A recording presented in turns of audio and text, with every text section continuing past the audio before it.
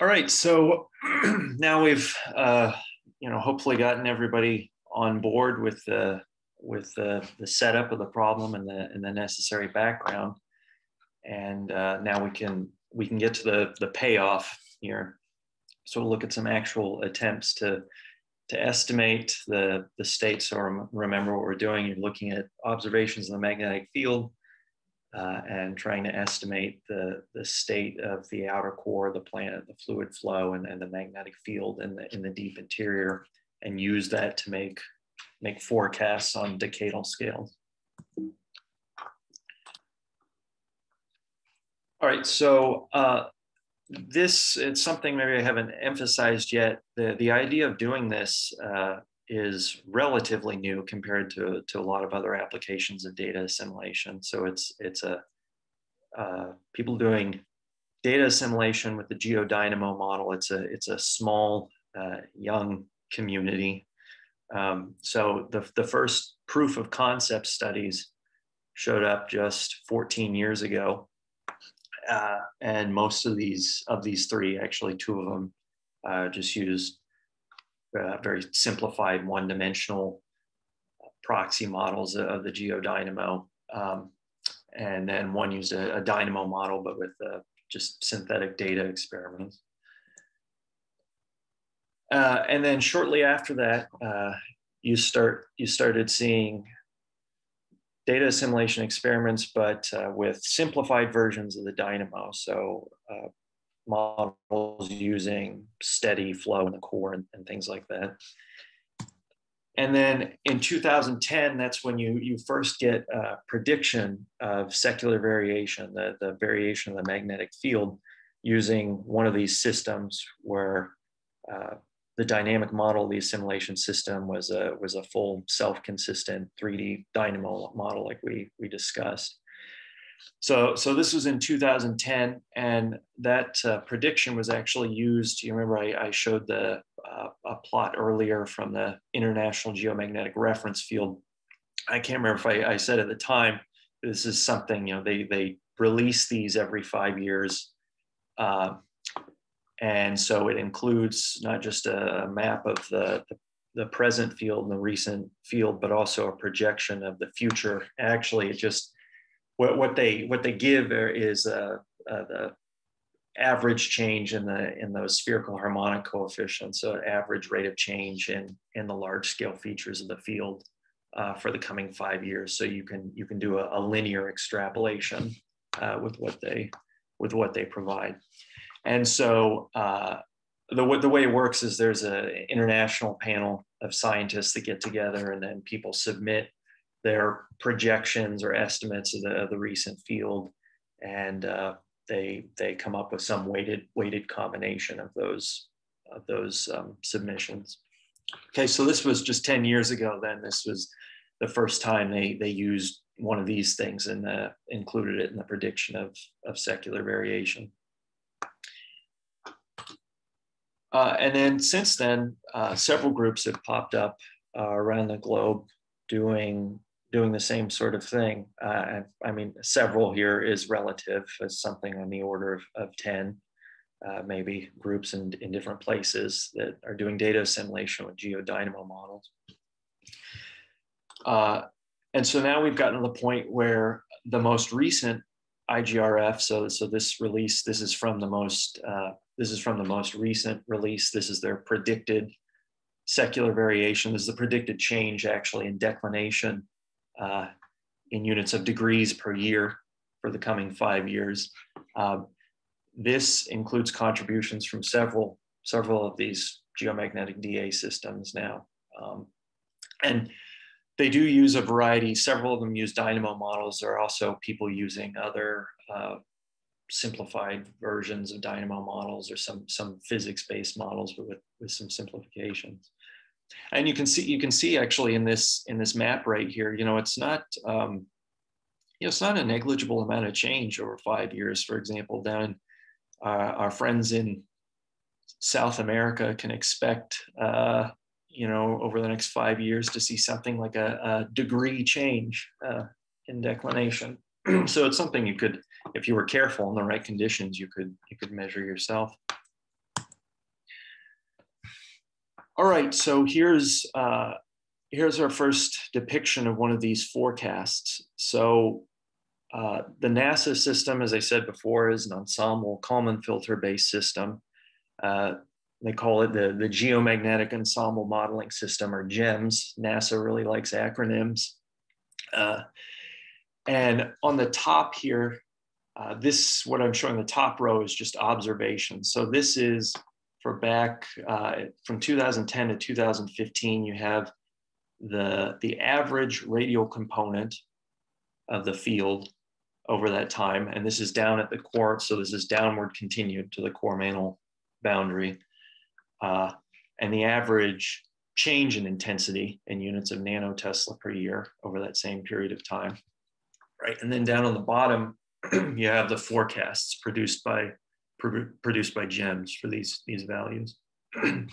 and one thing I haven't uh, said yet when we've been looking at these plots uh, of the field down at the core mantle boundary, uh, which you can, you can see here, is that, uh, of course, you see it's still largely, you see the signal of the dipole field, right? The field coming out in one hemisphere and back in in, in the other, but you, you can see down at the core mantle boundary, you actually have these reverse flux patches here uh, on the southern end of, of South America and, and off the southern coast of, of Africa. And these are things you don't you don't see these uh, at the surface, of course, but you see uh, you do see the, the South Atlantic anomaly in, in this region here.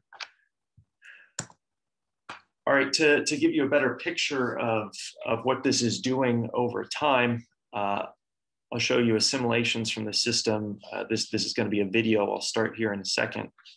And what this is going to show you is actually the, the observed magnetic field uh, over the last, well, the radial component uh, of the magnetic field over the last 400 years, and then the forecasts uh, of the radial component uh, as it assimilates these observations. And it's doing assimilations every, every 20 years. Okay, so that's why on, the right in the forecast one, you'll see you, you see this periodic jerking then in the forecast as it assimilates observations uh, to, to keep it on, on track. And this is also this is also with the uh, this is with the dipole contribution removed here. Okay, so that's why you don't you don't see the if if we just showed the dipole, it would conceal a lot of these these finer scale features that are in the in the observations and the forecast. So that's just taken out for the sake of clarity.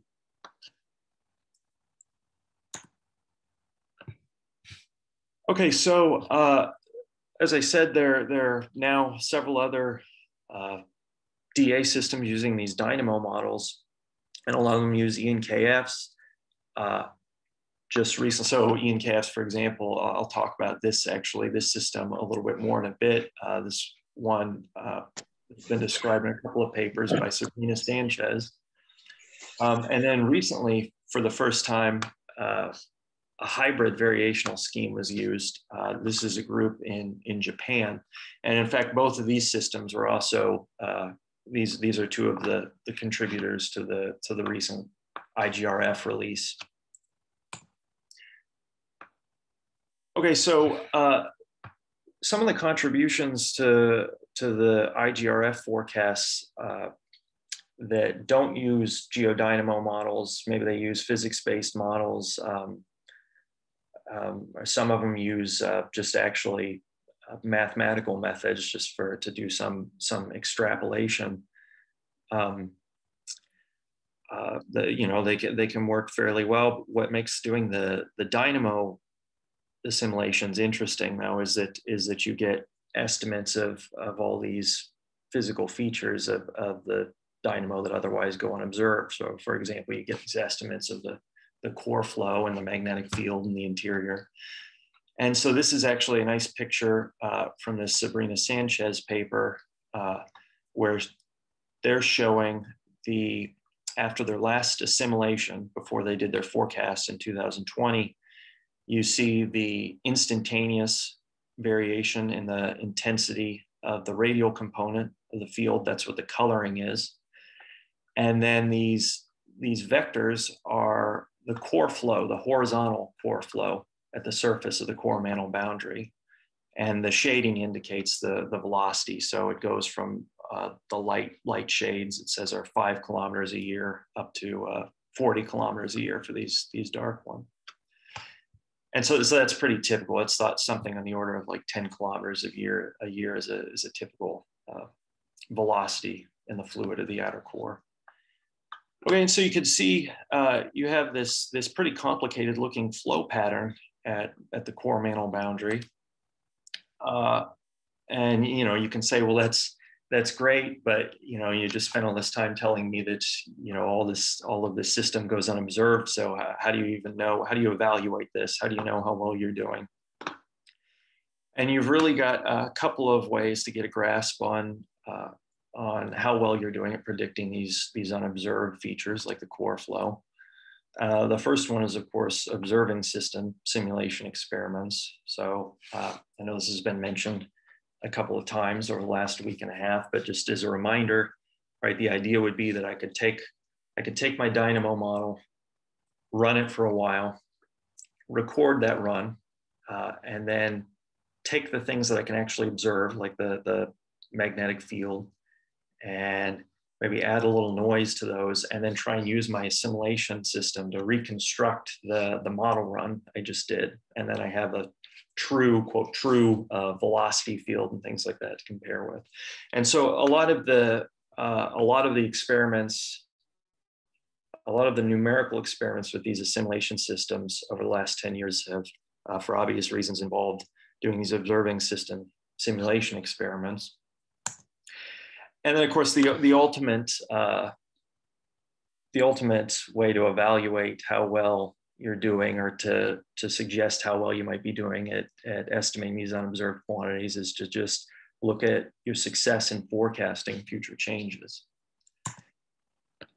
All right, so uh, the observing system simulation experiments uh, have, have shown that given enough, enough data and the right conditions, uh, you are getting you are getting uh, much improved estimates of the core flow, particularly at the, at the boundary, but also over time uh, below the, the core mantle boundary, even tens of kilometers uh, into, the, into the outer core.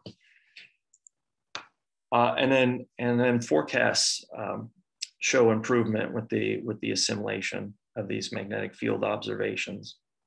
And uh, in fact, continue to show continue to show improvement up to the present day as, as we get more and more uh, uh, observations available the magnetic field. Uh, the forecasts are getting better. I'll talk about that in a, in a bit. Uh, so, so one of the nice things then about having this dynamic model and this estimate of the whole state of the system is that you can go ahead and and run it forward and try and make a projection uh, further than say five years out, like the IGRF uh, models.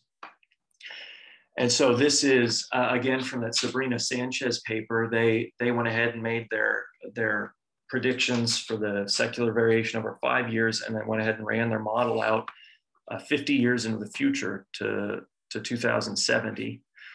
And so up here at the top, this is just a depiction of their estimate of the of the uh, geomagnetic poles uh, in blue and the, and the dip poles here in red. So the geomagnetic pole, that it's just, if you approximate the field by a, by a dipole uh, versus with the dip poles, this is this would just be where they predict the field will be vertical at the, at the surface of the earth. And down here, this is their prediction for the South Atlantic anomaly. So of course, from 1970 up until 2020, you're looking at, at observations. And then from there forward, that's their, their prediction. And so uh, something I didn't mention earlier, uh, but one of the changes that's seen been seen in the magnetic field for a while is, is there's a general westward drift to the structure of the field.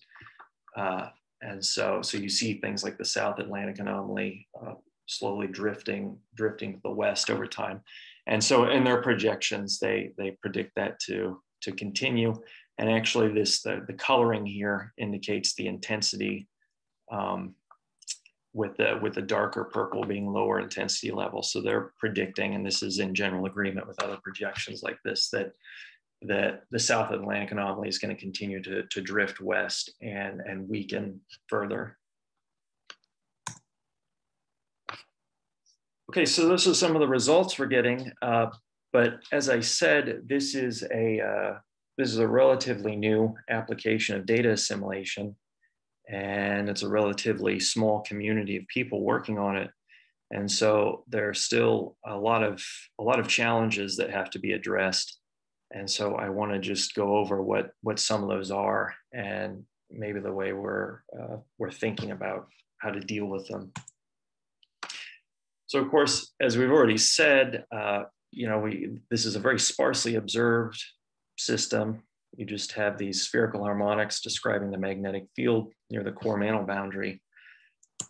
Uh, when you, I alluded to this earlier, when you use these sequential assimilation systems like uh, the ENKF system at NASA or, or the, the system that uh, the group with Sabrina Sanchez is using, uh, what you see is that the forecasts at the present day improve uh, if you go back uh, even hundreds of years in the past and start assimilating observations.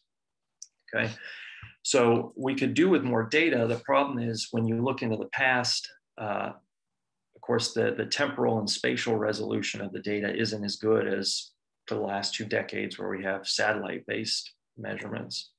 Okay, so to, to illustrate that point, uh, this video shows the radial magnetic field, observations of the radial magnetic field over the last 2000 years. And of course, far back in time, you only have those low degree spherical harmonics. You can only reconstruct what the large scale field looked like. So there's this counter up at the top of the video uh, that's counting up. I don't know if people could see it, but you'll see when this reaches 1600, we'll get into the historical record. Uh, and suddenly you'll see there it is, the increase in increase in resolution. And so uh, what I'm what I'm getting at here is that uh, we know it seems already that we we know with the systems that are already in place now, uh, as things operate now, we would be able to do better with our forecasts and estimates of the state if we just had 100 years of satellite-based observations, right? Because this is a this is a dynamically a slow system compared to say something like the weather. Um, so when you use one of these sequential assimilation systems like an ENKF, typically you have a so-called spin-up period, right? So this, this plot over here is an illustration, actually not from a geodynamo model, but a, a proxy for the geodynamo um, that we use to, to investigate some issues related to geomagnetic DA. But uh, the important thing is this, these are forecast errors using an ENKF for a synthetic data experiment over time as you do more and more assimilations. And so what, what I'm saying is with, uh, with the real model and the real observations, we're stuck right now. We're still somewhere on this, on this error curve where we're headed down with our forecast errors, right? So you, so with the ensemble assimilation system, the idea is you, you keep assimilating observations and your collection of simulations uh, sort of hones in over time on the, on the true state of the system. And we just don't have enough high resolution data uh, going far enough back in time, uh, possibly to really to really fully spin this thing up, spin the, the filter up and do it as good as we possibly can at estimating the state and making forecasts. So that's one issue. Uh, another one is that these geodynamo models are, are run in parameter regimes that really don't match uh, those of the Earth. And so you have systematic biases in the, in the forecasts. so as an example, I'll talk about uh, the magnetic Rossby number really quick and the, the Ekman number. Okay, so these are just these, these are just non-dimensional parameters that represent the ratio of the magnetic effects to rotation effects in the case of the magnetic Rossby number, or in the Ekman number case, uh, fluid viscosity uh, relative to, to rotation effects. And so in the current simulations, uh, for example, used by the, the dynamo model at NASA, these are on the order of 10 to the negative six. Uh, in reality, the Earth uh, actually is, is much different. Uh, in particular, you see this, the, the Ekman number here is off by something like nine orders of magnitude. And so this is, this is usually the point at which people that aren't familiar with this problem, you know, spit out their coffee and, and, and choke a little because this, this looks pretty, I mean, this, this looks like a huge problem and it, it is a problem, but I'll, I'll explain in a second why you can get away with getting interesting results uh, regardless. So the reason for this is just purely computational. Uh, this is probably a, a, problem that, that a lot of other people uh, on this uh, in this talk have uh, in their own in their own models, right? You just you simply can't you can't resolve things when you use these these parameter values, not with the the computational resources you have, right? So the the spatial and temporal resolution, right, are going to be proportional to these parameters if you try and bring down the Ekman number, right, to lower values, you're really, you're really uh, effectively making viscosity, fluid viscosity very small. You start getting a lot of, a lot of turbulence and fine scale features in the flow that becomes really difficult to resolve. And, uh, and, and we're just, we're just not there yet with these dynamo models. All right, uh, the reason that um, the reason that you can still get some interesting results, though, is that even in these parameter regimes, these dynamo models make magnetic fields that, that look like the Earth in a lot of important ways. Okay, so people like to use the phrase Earth-like. Some people, some people really don't like that phrase, uh, but but you see it a lot in in the discussion of this topic. And so this is the this is uh, a figure from uh, the, the paper people always point to in this discussion, this Christensen uh, 2010 paper. And uh, what it's showing is these, these different shape symbols are just dynamo simulations with different Ekman numbers. And then the horizontal axis is actually another parameter called the magnetic Ekman number. And the vertical axis is the magnetic Reynolds number. Uh, but the point is uh, that the shading tries to tell you something about how how Earth-like the simulation is in terms of, you know, does it have a, a dipole dominated field? And, and what sort of time scales does that field vary on compared to the rest of the field? Okay, so there's, anyway, there's been a, there's been uh, a fair amount of work done in, in identifying places in the parameter space where you get stuff where you have a nice dipole dominated field like the Earth, and it varies in similar ways uh, as, as, as the Earth but there's still this still has some major issues, right? So you have this non-dimensional model of the geodynamo. Uh, how do you, and then you have these observations you want to assimilate into it. How do you relate things in your model to, to the observations, right? What's, for example, what's a time step in your, in your model now? You know, what's one year in your model? Uh, you don't know, you have to, you have to make some sort of choice. Uh, and it varies a lot depending on what kinds of parameters you pick. So this is just a collection of dynamo simulations using different magnetic Rossby numbers. And then on the vertical axis, you have the typical time scale of the dipole, time scale of variations in the dipole. And on the horizontal axis, you have the typical dipole intensity. And these are, these are log scales here. So, you know, you change the magnetic Rossby number, you get uh, different different time scales for variations in the dipole, very different intensities. You have to make some choice about what your, you know, what your time step actually represents in geophysical time if you're going to assimilate observations. And you have to decide how to scale magnetic field intensity uh, to assimilate your observations. And so, so this is an area where it's it's still not quite clear what the what the optimal choices are. And then even at these even with these uh, generous parameter values, the models, as I said before, are still are still very expensive. So this is this plot's trying to show the number of floating point operations you'd need for uh, a simulation over a single magnetic free decay time. Uh, as, and this is as a function of the inverse magnetic Rossby number. So, so here's where we're at now. And the main thing to get out of this is uh, if you move over to an Earth-like value, you're increasing the number of floating point operations, you're increasing, increasing your computational expense by a factor of uh, four, or not a factor of four, four orders of magnitude. Okay. So, uh, you know, we're just, again, we're just not close to being able to simulate in the, the true parameter regime of, of the Earth the consequence of this when it comes to, to running data assimilation, in particular ensemble-based data assimilation, is that the ensemble sizes you can run with are limited, right? You'd like to run an ensemble-based DA system, you'd ideally like to run as many, as many simultaneous simulations as possible. But uh, for the most part, people run, run these systems with only a few hundred ensemble members. But the dimension of the state space so the length of that vector x that describes the full state of the, of the dynamo model is typically, typically in the millions, okay?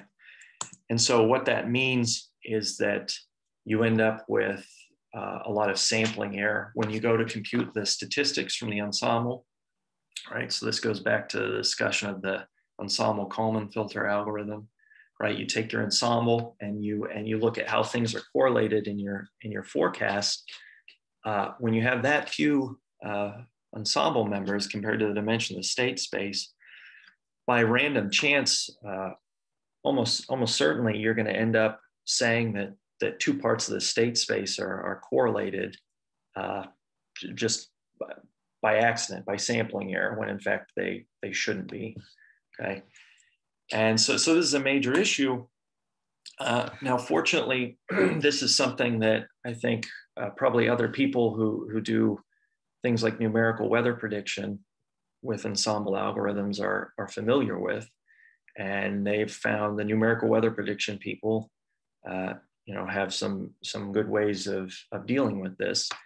Uh, and a big one is called localization. So the idea of localization is you, you want to knock out these spurious correlations that might pop up because you're using a, a small ensemble. And for example, uh, covariance localization, you would accomplish this by, by taking your ensemble covariance, right, from your simulations, that P, and then multiplying it uh, element-wise, multiplying each of those covariances by some fixed factor between, between zero and one, right? And that's usually done uh, in, a, in a spatial context, right? So the idea would, would be, for example, I've uh, showed a illustrate a Gaussian decay of correlations centered on on me right now out here in, in Southern California. And the idea would be if I had some, if you have a weather model, right, and you have uh, covariance between temperature, say down here in San Diego where I am, and just up the coastline in Los Angeles, uh, you would let correlations that show up in your ensemble between those two variables stick around. You would multiply them by a factor of one or maybe 0.9 or something like that. Uh, on the other hand, if I'm uh, well across the border and into Mexico down here, I'm looking at temperature and my ensemble tells me uh, that it's highly correlated with, with temperature up here in, in San Diego. You might not want to trust that. You might think that that's just a, that's just a, a, sampling error. And because these things are far apart, they shouldn't be instantaneously uh, correlated in that way. Right, so that's usually the motivation for localization. And that's, I mean, that's where it gets its name from, localization. Uh, you only allow parts of the state to, to interact locally. Uh, but the issue is that's not going to work for us. So this is uh, the reason that I've emphasized in the first half of the talk that the observations of the magnetic field and the description of the state are all in spherical harmonics, right? So this, this covariance here for us, this P is telling us about correlations between spherical harmonic coefficients. And so they don't have a particular location in space associated with them. There's not really a measure of a physical distance between them. So there's this question of how do we identify in this problem with the geodynamo uh, spurious correlations. Okay. Uh, you know, another way this sampling error stuff is is dealt with, uh, not the issue of spurious correlations, um, but an issue where you start underestimating uncertainty uh, because you have a small ensemble, right? You might, the ensemble members might start to um, become very close together and you become overconfident in your, in your forecasts. Um, you know, you don't have enough ensemble members going to really give you an idea of, the level of variability in your estimates. And so people use um, techniques called inflation a lot of times to deal with that issue. And that's, that's not a that's not really a, a, problem here. You don't need some measure of, of uh, uh, length or a notion of, of, of, distance to do this. This is a lot of times this is just accomplished by right before you do an assimilation, you take your ensemble members and you, you push them away from the mean a little bit by a, by a certain factor. Okay, so this, this is a big unknown and uh, how to do something like localization.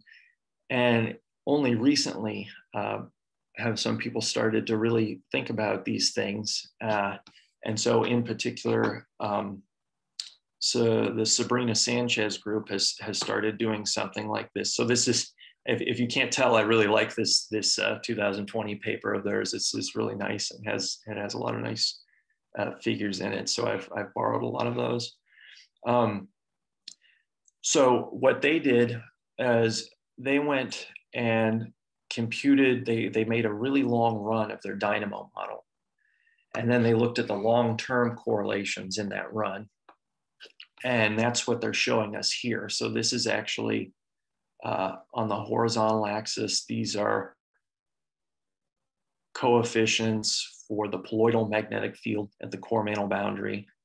And on the horizontal axis, you have the coefficients describing the poloidal velocity field, the flow of the fluid. And these are the long-term, or you might call them climatological correlations in the system.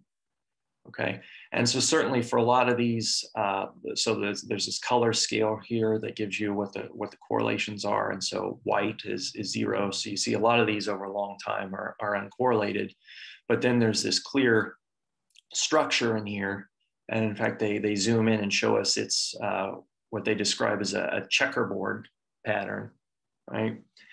And so they decided to go ahead and use some different variations uh, on this, this checkerboard pattern. So they're showing what their localization matrix might look like here. So the idea is it's just made up of, of ones and ones and zeros, right? So for, for spherical harmonics that seem to be correlated over long runs, uh, when you're doing the assimilations, and your ensemble indicates a correlation there, you go ahead and just leave it intact. Don't mess with it. Uh, if a correlation pops up in your ensemble for uh, between two spherical harmonics that don't seem to be correlated over a long run, then you zero it out. Okay. And then over here on the right, I'm just showing from their from their paper the um, experiments they did with different ensemble sizes and different variations on this localization scheme. Uh, and this is just the uncertainty in their forecasts and the error in their forecasts. And so the, the main point is, is they, they were able to uh, get the same sort of results uh, at a reduced ensemble size when they when they employed this sort of localization scheme. And as I said, these, these models are expensive. It's a big that's a big deal because now they can run uh, they can run more assimilation experiments. Uh, I also think, I also just like this plot here because I think it's neat. You can see they're assimilating from observations from sometime back in the 1800s uh, up to present day. And you can see, I think they're, they're doing this every five years in here. They're assimilating observations. And then you can see when you get to the satellite era and they start assimilating, uh, assimilating observations every year and you can see this this sudden drop right here. So you can sort of see that, you know, we, we can be envious of people in 100 years that have that have a century worth of satellite observations because you know who, who knows where this curve will will be uh, by then if you assimilate all this stuff. Okay, so uh, unfortunately, one of the issues uh, with exploring techniques for localization and inflation is that what you'd like to do is just run a bunch of experiments with the system to see what works well. Uh, but as I've already said, these things are really expensive, and I'm sure that uh, this was no small task. I don't know exactly what kind of computing resources they have, but I'm, I'm sure this these experiments on their own um, uh, are not something that they just did in a matter of days. I'm sure I'm sure it took a while. Uh, so in other applications of data assimilation, uh, people have used proxy models, you might call them, to, to prototype strategies, assimilation strategies for their problems like localization and, and inflation. And in fact, uh, I mentioned before these first proof of concept studies from 14 years ago uh, involved really simple 1D models uh, that were supposed to reflect some of the properties of, of the dynamo problem and assimilating observations into the dynamo. Um, these are these are fairly simple models that don't exhibit chaotic behavior though, and, and the dynamo is is a, a very chaotic system. And then uh, recently we developed uh, a proxy model that's two dimensional and you have a, a chaotic flow in 2D that's coupled to a 2D magnetic field through that induction equation. And uh, in turn, the, the magnetic field influences the, the velocity field through the Lorentz force. Uh, and both the magnetic field and the velocity field are described then by a, by a scalar. That's actually what's in the coloring in the video. And so then the idea is, uh, just like with the observations of the dynamo, we can describe the, the state of this model uh, just by the scalar field. And so, for example, on the surface of sphere, uh, we can describe the state of the model using spherical harmonics. And then we can, we can do synthetic data experiments where we see how well can we reconstruct this 2D flow uh, if we only know about large scale spherical harmonics describing the magnetic field. Okay, and so that, that lets us go ahead and uh, run a bunch of numerical, we can run thousands of numerical experiments then with that system because it's much simpler computationally than the Dynamo. But of course, I mean, you're, you're giving up a lot of, a lot of uh, stuff by doing that. Um, but the idea is you can run a bunch of experiments. Uh, and for example, this is a collection of forecast error plots in these synthetic data experiments as a function of ensemble size for various ensemble Kalman filters where we've, we've modified them with different localization inflation schemes. And, and you can see a, a variety of, of uh, responses to, to the, the implementation of those schemes. Uh, maybe the most important thing though is that it let us run uh, a large ensemble, a large enough ensemble uh, that you can be confident in the ensemble statistics that you're getting, right? You can run an ensemble that's that's larger than the much larger than dimension of the of the system, right? And so actually what I'm showing down here is uh, in this proxy model, a correlation coefficient uh, in the forecast ensemble over time between two modes that climatologically are, are uncorrelated. So over the course of a long run, uh, these modes are, are completely uncorrelated. But uh, that's not the case in the forecast ensemble, the really large forecast ensemble. Uh, and it turns out that's because over the short term, if you start looking at correlations between these modes, uh, over the over these short-term forecasts, uh, the forecast error can be correlated, right? You have a collection of ensemble members that starts from a very similar state, and then uh, the energy can be shared between these different modes, these different spherical harmonics in, in complicated ways. And so you get a really complicated correlation structure for these short-term forecasts that doesn't, doesn't necessarily show up in the climatological statistics. So what I'm getting at is, for example, if you look back at the, the dynamo model correlations, uh, one of the issues uh, we may be having is that you look at the climatological correlations and you, you want to zero out uh, some of these correlations, some of these uh, covariances in here in your forecast ensemble. uh, because they don't seem to be correlated climatologically. But that may not actually be what you want to do. It may be that these short-term forecasts that you're using in the assimilation system, uh, these, these things should be, should be correlated. All right, so uh, now I just want to sort of wrap up what we just talked about and maybe describe uh, sort of where I think things might be headed or some of the some of the directions that things are heading in. So what we talked about was the, the so-called main magnetic field or the core field of the planet, right? And that's the field generated uh, the convective flow in the outer core or the geodynamo. And uh, we had this issue, or we have this issue, right, where the magnetic field measurements reflect the influence of a lot of different sources, not just the geodynamo that we're interested in.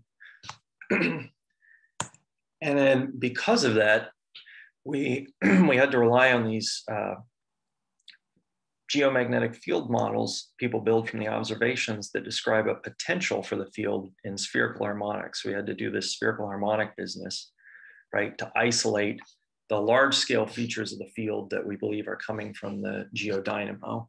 And this is actually uh, just an illustration I didn't get a chance to include on earlier slides.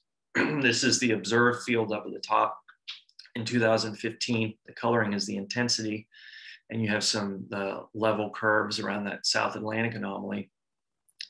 And again, this is another illustration of when you when you downward continue this to the core mantle boundary, uh, you see a much more a much more complicated structure. You can see the same contour lines here for the South Atlantic anomaly. Uh, things get get much more messy. and then, as we just discussed, um, this whole issue of doing things in spherical harmonics is important because uh, we're limited to small ensemble sizes uh, from the computational expense of the, of the system. And normally you might fall back on something like localization. Uh, in fact, it's something that uh, in large systems with ensemble Kalman filters, I think it's, it's generally ag agreed on that you need to do something like this if, you, if you're using small ensembles. Um, but the spherical harmonics make that uh, a real challenge. It's, it's still not clear exactly how to do that. So how to control for spurious correlations popping up in our, our forecast ensemble. And then the other issue that we talked about is that the parameters in these dynamo models just aren't right. Uh, they, they, don't, they don't match the, the parameter values for the Earth. And so we have these systematic biases in, in the forecasts and it's also not certain what the optimal way is to, to rescale things to, to match the observations. So uh, going forward uh, with these ensemble-based assimilation systems, uh, we're gonna have to keep finding ways to keep the necessary ensemble size low, um, trying to find ways to do localization like the Sabrina Sanchez's group has done, uh, and in particular, you know, you can you can say that well, we'll you know, hopefully we'll get more computing power, uh, and then maybe you can run a bigger ensemble. But because these issues with the parameters, uh, you know, you'd also like to, if you get more computing power, you'd also like to push the the dynamo models closer to the true parameter values of the Earth.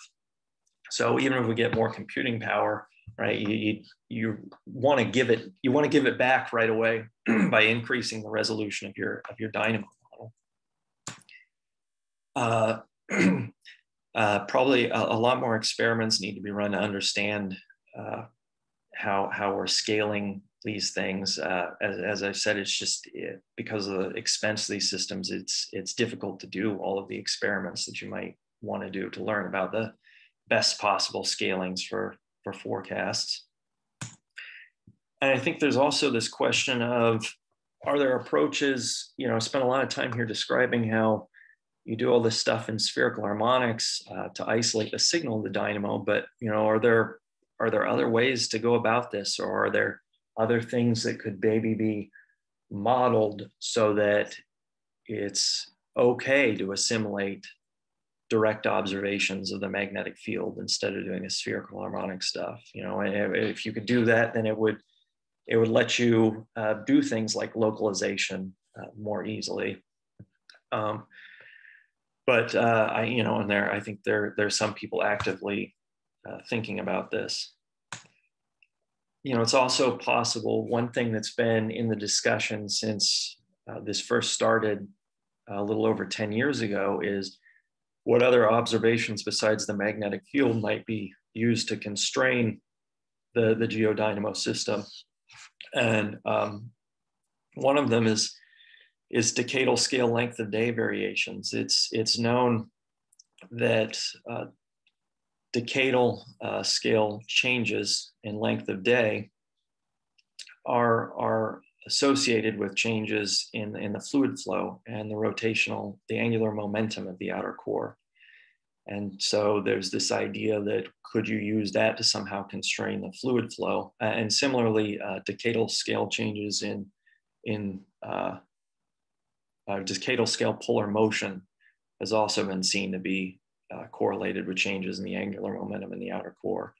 Uh, so the issue with both of these things is that it's still, this would be some sort of uh, integral over the over the core. This this observation right represents a, a cumulative effect, and so uh, you know just like with the magnetic observations, uh, this sort of global in a sense that would be associated with a particular location in space. Uh, and then the other thing I just I want to mention is I focused here on on assimilations with geodynamo models, but in terms of producing forecasts, uh, either there are other possibilities. Uh, in particular, uh, there's this model um, discussed in this Baerenzung paper from 2020, and in fact, this was another uh, contributor to the IGRF release that just happened, and they use a statistical model uh, and they model a variety of sources, not just the geodynamo, but the, but the other sources that we've talked about, so corrupting the, the signal or showing up in, a, in magnetic field measurements. And so because they go ahead and model those things, uh, they assimilate, they go ahead and assimilate raw observations into, the, into their model. So they don't have to do this, this business with the spherical harmonics. And that seems like it could be a pretty, a pretty promising thing. And I think with that, I'm, I'm out of time and I'm at the end here, so I'll, I'll stop. Okay, thank you very much, Kyle.